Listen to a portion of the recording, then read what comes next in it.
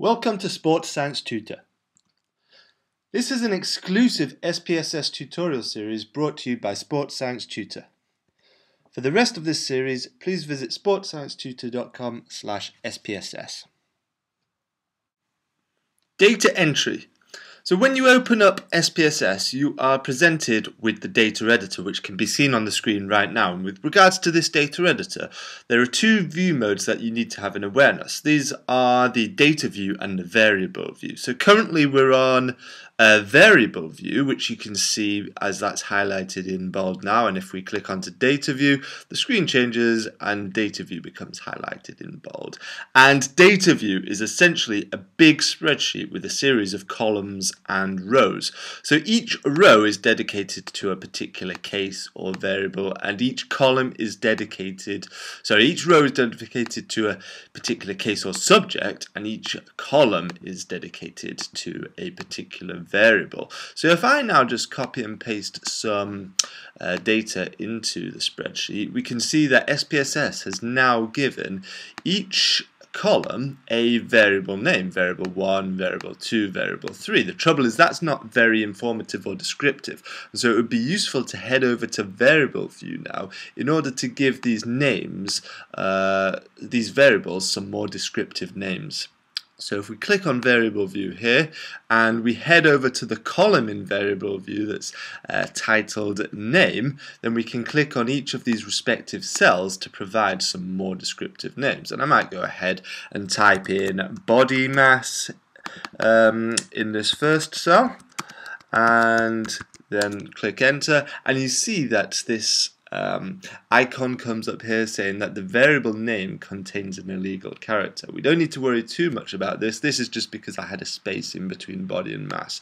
Whenever that comes up, just play around with it until you come up with something acceptable to SPSS. So I'm going to, in this case, just put an underscore in between body and mass and SPSS is able to accept that. And so I might do the same with the next variable, which may be something like VO2 max. So again, I might do VO2, and then instead of a space, I might have an underscore before writing max. And then my third variable might well be uh, something like gender.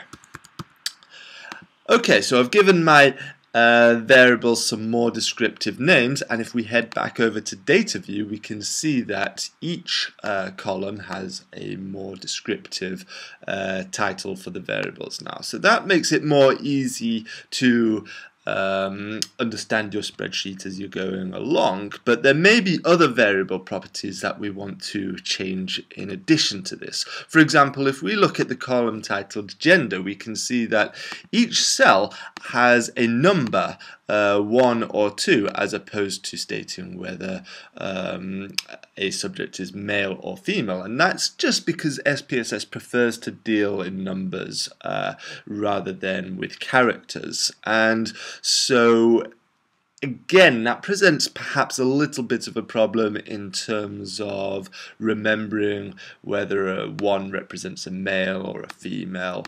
Um, and so we might want to head back over to variable view and head over to the um, the column entitled values. And in this situation we want to click on the cell title, uh, corresponding to gender. And then if we click on this box here we can ty uh, type in 1 under value and that might correspond to males so in labels uh, we'll type in male click on add and then we can do the same for females so we'll type in number two we'll type in female click add then click OK. And then once again if we head back over to variable view and then click on this icon here we can see that the um, cells in the column corresponding to gender now tell us uh, whether our subjects are male or female and if we want to revert back to the numbers just revert, go back to this